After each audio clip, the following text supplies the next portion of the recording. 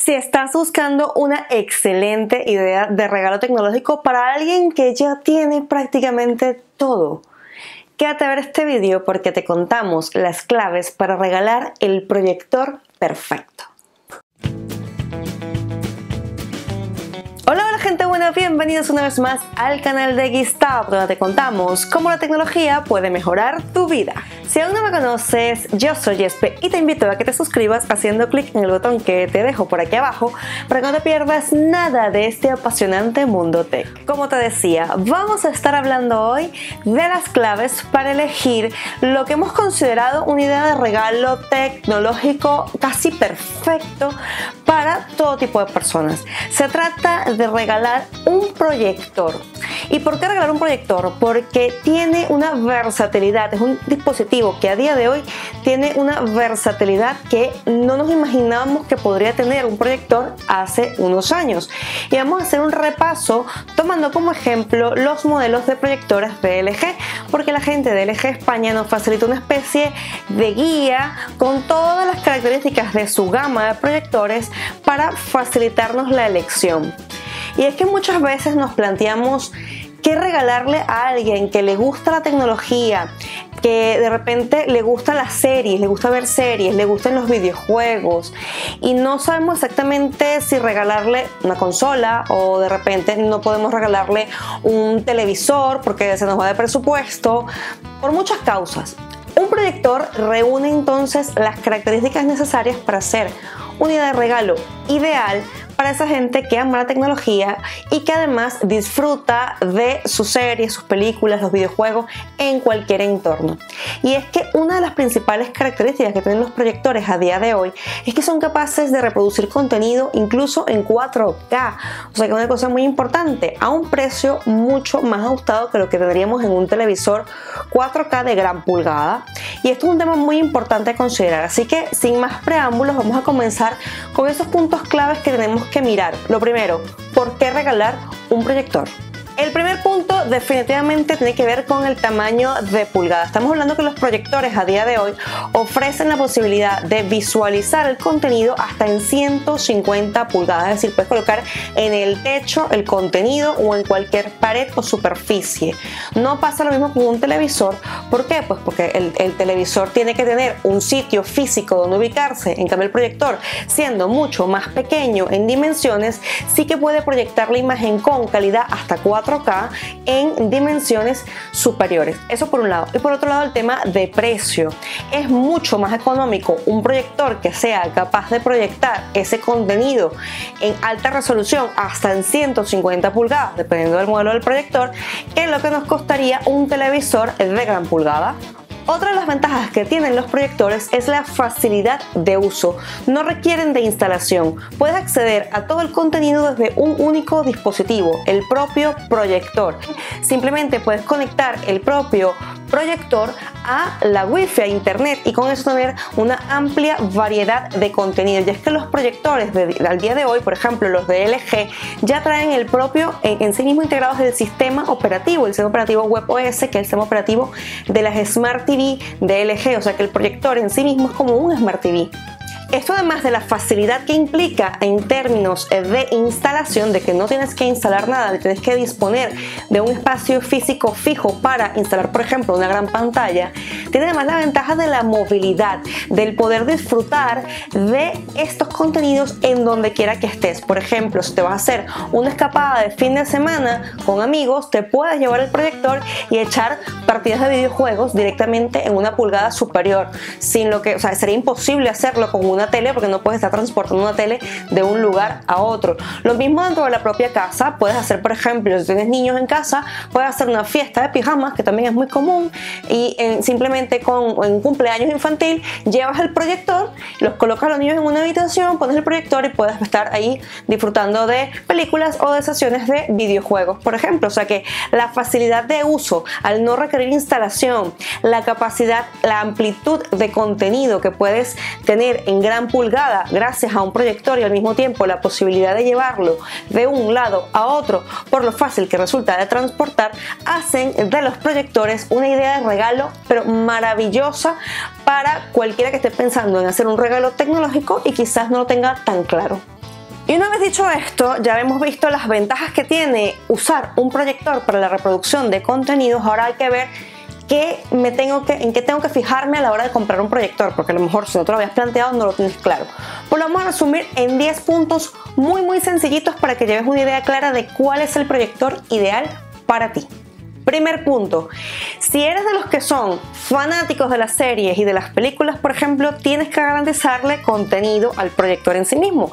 Hay un tema muy importante en este caso entonces con los proyectores del ejemplo que estamos usando, que son los proyectores de LG, porque ellos integran, como te decía anteriormente, un sistema operativo propio de LG, que es el mismo que utilizan sus televisores inteligentes, sus Smart TV, que es el sistema WebOS, y esto que te permite, te permite que el contenido y la navegación dentro del propio proyector, el uso del proyector, sea tan intuitivo como es en las televisores de LG, con lo cual puedes tener allí Netflix, Rakuten, cualquier sistema de proveedores de contenido es compatible con este sistema operativo, por lo tanto lo puedes tener fácilmente en el proyector. Un punto muy muy importante tiene que ver con el tamaño de pulgada que quieres disfrutar. Como hablábamos antes, gracias a los proyectores es posible tener gran pulgada en espacio muy reducido. Ahora, si la habitación es muy muy pequeña, tienes la posibilidad de comprar lo que llaman un proyector de tiro ¿Qué significa esto? Pues los proyectores que estamos usando en el ejemplo, que son los proyectores en el caso de los de tiro corto de LG, permiten colocar el proyector a 11 centímetros de la pared, que viene siendo un espacio muy pequeñito, que es una cosa que antes no teníamos disponible, pero con los proyectores de nueva generación sí que es posible, así que si la habitación no es muy grande, ya sabes, un proyector de tiro corto es lo que tienes que buscar. Otro punto en el que tenemos que hablar y que tiene que ver también con el tamaño de pulgada. Cuando hablamos de televisores, pues tenemos que ver el tamaño de la pared o del sitio donde lo vamos a colocar. Cuando hablamos de proyectores tenemos menos problema porque hay, estos proyectores nuevos de nueva generación te permiten proyectar desde 30 pulgadas, son lo que sería una, prácticamente un monitor de ordenador, hasta 150 pulgadas. El mismo proyector te permite ese juego de tamaños dependiendo, entonces tienen unos y dependiendo de esos rangos ya sabes que puedes ampliar lo que sería la pared donde vas a proyectar según la pared sea más pequeña o más grande pues juegas con la distancia y el proyector adapta el contenido al tamaño que deseas. Otra cosa que tienes que mirar a la hora de elegir el proyector perfecto es el uso que le vas a dar en cuanto a contenido. Por ejemplo, si eres un devorador como yo de series y de películas, lo ideal es que consigas un proyector con capacidad de reproducir el contenido en 4K o en Full HD.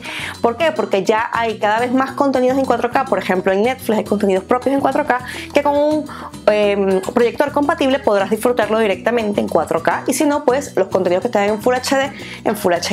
Ahora, si tú eres un gamer de corazón y principalmente vas a utilizar el proyector para tus partidas, lo ideal ya es que consigas un proyector en HD. Un tema muy importante cuando hablamos de proyectores es el tema de la luminosidad. Anteriormente los proyectores de, antes necesitaban un sitio oscuro para que pudiéramos disfrutar a plenitud del contenido. Las cosas han cambiado mucho, la tecnología va muy rápido y nos simplifica mucho las cosas. Así que no hace falta que estés en una habitación oscura con todas las persianas echadas para poder disfrutar del contenido con un proyector. Lo que tienes que fijarte a la hora de elegirlo es lo que llaman los lúmenes, que son los grados de luminosidad que te permiten saber, dependiendo de las condiciones del entorno qué tipo de proyector debes comprar. Por ejemplo, eh, tenemos lo que vayas a utilizar en espacios oscuros en un entorno como de cine tienen que ser de hasta 500 lúmenes. Tienes que fijarte eso precisamente a la hora de elegir el proyector. Y ya cuando estamos hablando de espacios que son muy iluminados, por ejemplo, eh, espacios con grandes ventanales o a plena luz del día en la que no puedes controlar o regular que estén un poco más oscuros, necesitarías escoger un proyector de más de 1000 lúmenes para poder disfrutar del contenido sin preocuparte por tener que estar cerrando ventanas, apagando persianas, apagando luces, etc. Otra cosa que tienes que ver al comprar un proyector es el audio. El audio es muy importante y a la hora de elegirlo tienes que fijarte que tenga sonido, por ejemplo, Dolby. En el caso de los proyectores DLG de los que estamos hablando, sí que tienen esta compatibilidad, esta certificación y entonces tenemos para disfrutar de series, de películas y de videojuegos de manera asombrosa. Muy importante a la hora de hablar de un proyector. Hablábamos de movilidad, de la posibilidad de transportar el proyector proyector de un lugar a otro y de verdad que cuando hablamos de estas cosas necesitamos entonces que tengan que, que tengan batería. Es verdad que los puedes enchufar en cualquier sitio, pero si tienen batería integrada es como que te dan más libertad, más juego. Por ejemplo, si vas a hacer una acampada, por ejemplo, en el jardín de casa y lo quieres proyectar contra una pared, pues a lo mejor no tienes un enchufe a mano. Hay que ver entonces que tengan una batería que te alcance para ver todo el capítulo de la serie o de la película como tal. Hay entonces proyectores que ya tienen su batería integrada de hasta 2.5 horas de autonomía, lo cual te da suficiente para que con una carga pueda ver la peli completa sin preocuparte de verdad demasiado por tener que buscar el enchufe donde Cuando hablábamos al principio de cómo elegir el proyector ideal, hablábamos de la posibilidad de que tuviese un sistema propio integrado, como en el caso de los LG que tienen el sistema WebOS. Pero también es muy importante ver la conectividad que tiene con otros dispositivos. Muy importante ver que tenga la mayor posibilidad, la, mayor versatilidad de fuentes de conectividad. Una cosa muy importante también cuando se habla de elegir un proyector es que tenemos en la mente que los proyectores anteriormente necesitaban cambiar eh, la lámpara, la bombilla de forma frecuente, es decir, duraba unos pocos años. Ahora las cosas también han cambiado para beneficio de todos y las lámparas, las bombillas que integran los proyectores son capaces de durar hasta 20 años, por supuesto dependiendo del tipo de bombilla. Hablamos de una, de una LED, por ejemplo, una lámpara LED, estamos hablando de hasta 20 años de vida y si hablamos de un proyector láser, estamos hablando de más de 15 años de vida útil. Esto es un ejemplo que nos ha dado, una cifra que nos ha dado LG en función de un uso medio de unas 4 horas al día, es decir, podría durar trabajando 4 horas diarias unos 20 años en el caso de los láser y unos 15 años sin preocuparte por el mantenimiento en el caso de los LED. Yo creo que es una cifra bastante, bastante considerable, eh, que yo creo que en ese tiempo ya la tecnología avanza y cambias de proyector. Y finalmente un tema que a mí me parece que es importantísimo mencionar y que a veces como que se nos pasa un poco de lado, tiene que ver con sostenibilidad, con lo que, sé, lo que es el impacto ambiental de la tecnología. Es un tema que LG viene trabajando desde hace bastante tiempo y que recientemente le ha dado como mayor eh, sonido, mayor voz a este compromiso ambiental que tiene, ha hablado un poco más del compromiso ambiental. Entonces nos deja saber cifras muy importantes respecto a lo que es el impacto ambiental de sus equipos. En el caso de los proyectores, tenemos que hablar que en eh, los proyectores de LG consumen un 52% menos de electricidad frente a lo que sería un proyector de otra marca, un proyector convencional. Y esto es importante saberlo por dos cosas. Una cosa, por un lado, el ahorro energético a tu bolsillo. Y es que si consume 52% menos de electricidad, quiere decir que te estás ahorrando la mitad de la electricidad, un poquito más de lo que te ahorrarías con un proyector de otro tipo, un proyector convencional. Pero por otro lado, también tiene que ver con el impacto ambiental, porque estamos hablando de que si consume menos electricidad, no solamente te estás ahorrando dinerito, sino que estás contaminando menos. Yo creo que es un compromiso muy importante saberlo, porque al final pues el planeta es de todos, es una cosa que nos conviene a todos que contaminemos menos. Si quieres saber de todas maneras más detalles sobre exactamente cuál es el ahorro en cuanto a emisiones de CO2 que tienen los productos LG, yo en la caja de comentarios, en la caja de texto te voy a dejar un link a la página de LG para que le eches un vistazo porque está muy interesante, ellos lo detallan muy bien y te ponen ejemplos claros de cuánto CO2 ahorran, por ejemplo, por el hecho de que sus equipos sean cada vez más ligeros a la hora de transportarlos. Son datos muy interesantes que yo creo que merece la pena que le eches un vistazo porque a la hora de comprar tecnología, por un lado, es importante saberlo del ahorro energético porque nos ahorramos dinero directamente en la factura de la luz, pero por otro lado es muy importante también saber cuánto menos contaminamos con la tecnología, porque al final la tecnología ha nacido para mejorar nuestra calidad de vida, es una cosa que nos encanta, nos apasiona en Gistap hablar de cómo la tecnología mejora nuestra calidad de vida, pero también es muy importante y muy responsable de las empresas tecnológicas aceptar que la tecnología eh, pues contamina y el hecho de ver qué esfuerzos están haciendo las empresas para que sus productos contaminen, sus actividades contaminen cada vez menos, qué compromiso ambiental tienen las empresas también es un punto muy importante y entonces es muy interesante conocer. En el caso de LG lo tienen explicado en su web, te dejamos el link y como siempre te dejamos nuestras redes sociales por si tienes dudas, preguntas, comentarios, sugerencias. Abajo toda la, la caja de comentarios es tuya también para que nos preguntes lo que quieras sobre los proyectores, sean de LG, sean de cualquier marca, qué tienes que ver a la hora de elegir un proyector, pues echa un vistazo y si no te, todavía te quedan dudas, dinos allí porque nosotros intentaremos responder todas tus dudas. Como siempre, la invitación es que si aún no lo has hecho, te suscribas. Te doy las gracias por acompañarnos y te recuerdo que te voy a estar, estar esperando ¿dónde? ¿Te escucho? Sí, sí, ahí correcto, en el próximo video.